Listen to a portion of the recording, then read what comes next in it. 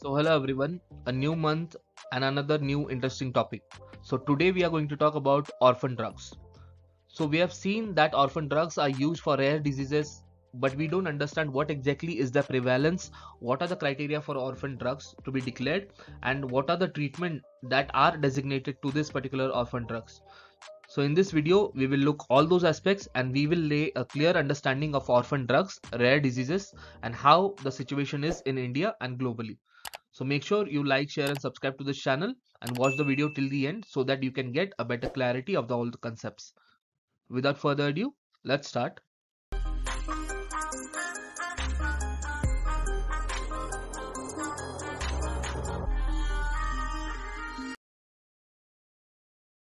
So in this particular session, we are going to learn that what are orphan drugs, what are rare diseases, followed by the criteria for declaring a particular drug and having their orphan drug status.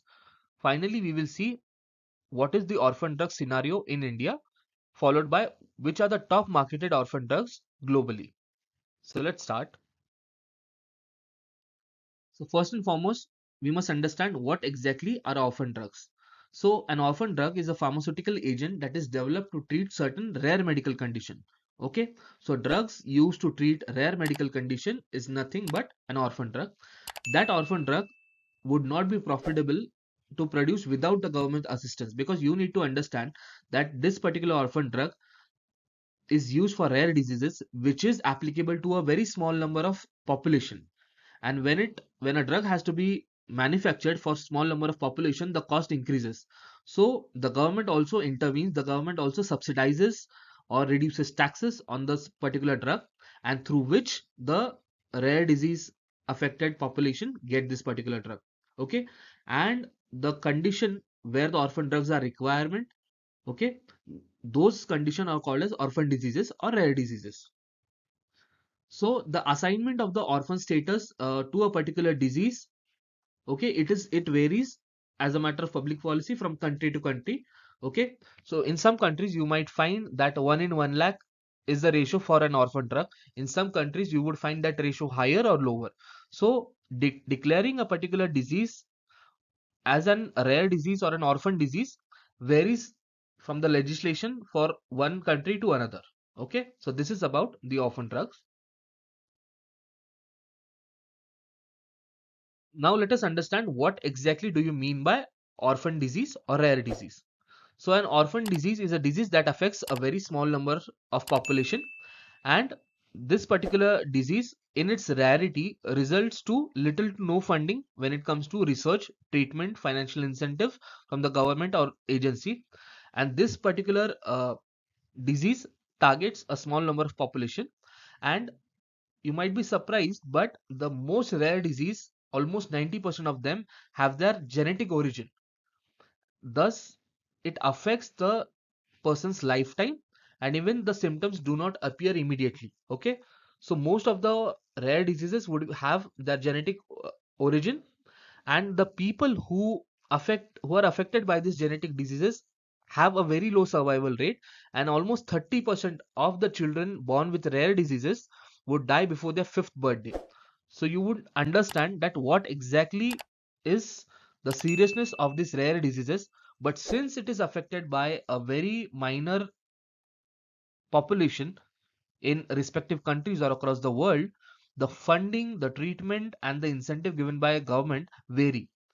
And see this might sound logical when it comes to higher cost of treatment but when it comes to having a loved one affected by a rare disease then we understand from their perspective that these particular medication or treatment should be subsidized in order to help the minor population also get the justice of treatment.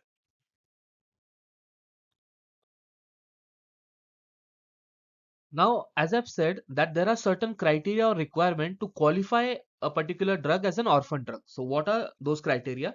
So first criteria is rarity. So a drug should have never received FDA approval and new orphan indication for that already uh, marketed drug should be there. So that is a rarity. The second would be the seriousness.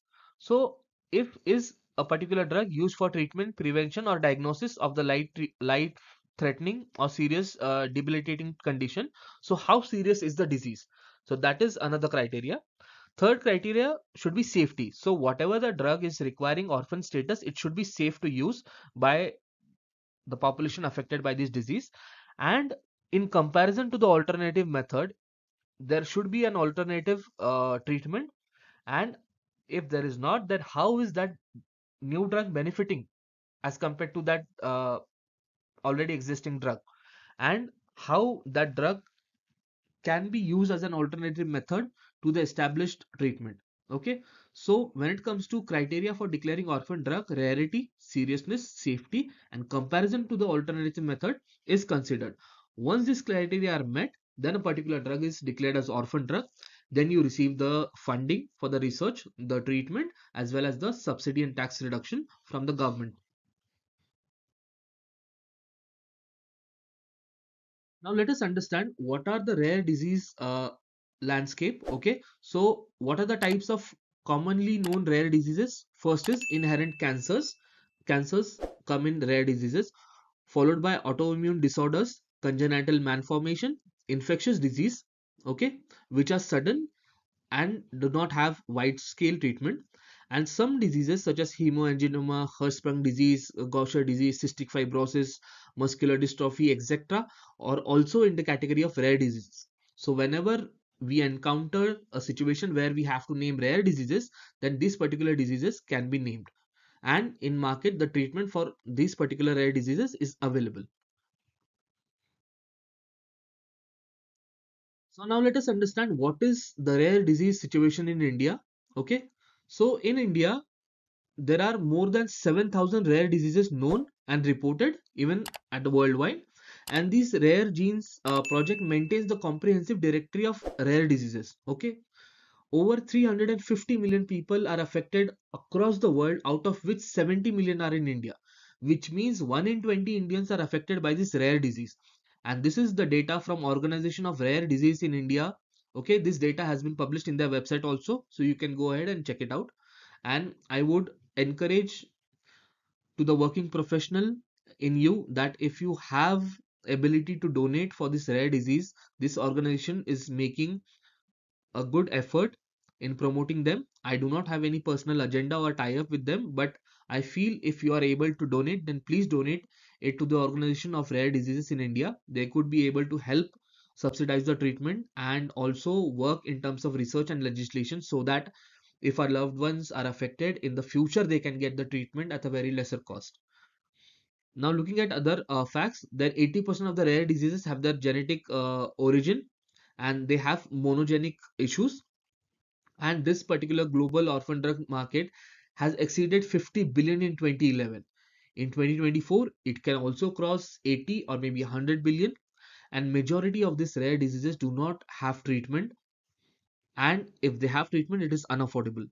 So that is what the issue with rare diseases and orphan drug are if there is any treatment then it is expensive or there is no treatment at all. So you need to understand how serious is the orphan drug and rare disease situation.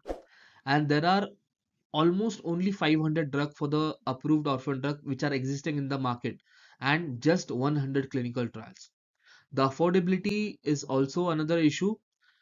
And when it comes to having a legislation for orphan drug then orphan drug act in 1983 was first laid down in the united states and this law is designated to facilitate the development and commercialization of this drug for treatment okay so when it comes to India, the rare disease situation is 1 in 20 Indians and it is a very serious condition and we need to have legislation support and uh, treatment cost reduction for everyone who is affected by, by this disease.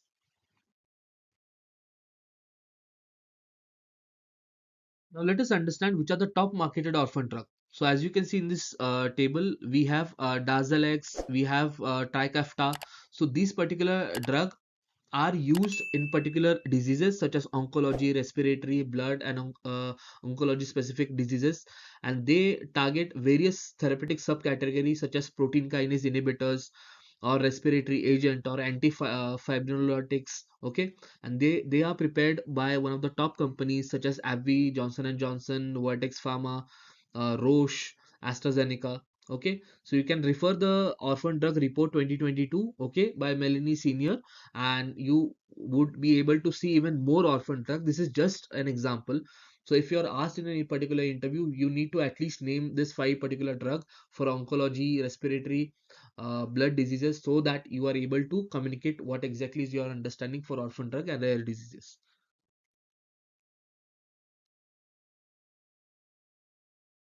So thank you for watching this video. I hope I was able to shed light on the orphan drug status.